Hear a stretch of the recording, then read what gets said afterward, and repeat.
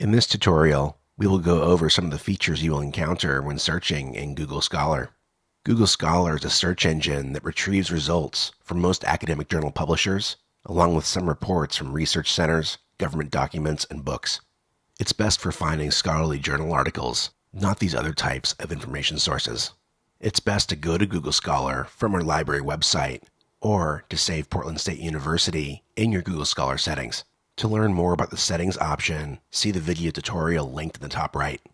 Google Scholar is linked under the Research Tools and Collections tab on the library homepage. Once you've signed in, you'll get access to all the full-text journal articles that the library subscribes to.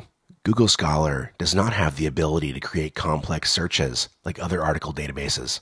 The trade-off is that searching in Google Scholar is simple and familiar to users. Let's do a quick search for rural family planning access. Type those terms into the search box and run the search. When you search in Google Scholar, you might get hundreds or even hundreds of thousands of results, or in this case, 2.9 million. That's because the scope of Google Scholar is very large. It includes all disciplines. Also, it's searching the full text of every item. So that means it includes results with your search terms mentioned, but that doesn't necessarily mean articles that match the subject of your search. It's also important to recognize how Google Scholar organizes its results. The results are not chronological like in other databases. In Google Scholar, they organize the results by how many times something has been cited, as well as what the algorithm perceives as relevance. The results you see on the first page might end up being quite old. On this first page of results, for example, the articles range in age from 1988 to 2015. The only advantage to the default result list is that an older article at the top might be a foundational article in that research area. However, you'd really want to cross check that with other information sources to assess if that is the case, as a citation is not necessarily an endorsement.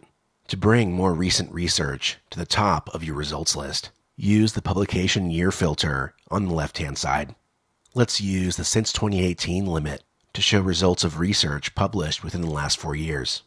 To get to the full text of an article in the results list, either use the Find It at PSU link or direct PDF link to the right of the article title. You'll only see these links if you've connected Google Scholar to our library. Selecting the Find It at PSU link will bring you back to the library catalog to access the article. Use the links on the right instead of clicking on the article title to avoid running into a paywall.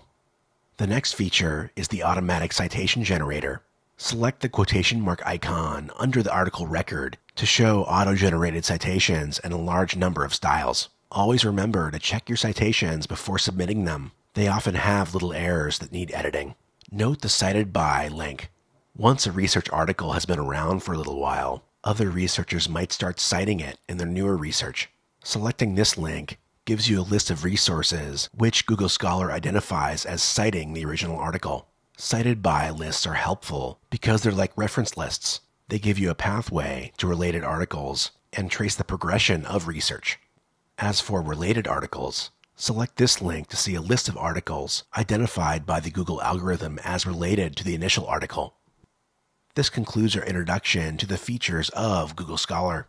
If you have any questions, please don't hesitate to ask a librarian.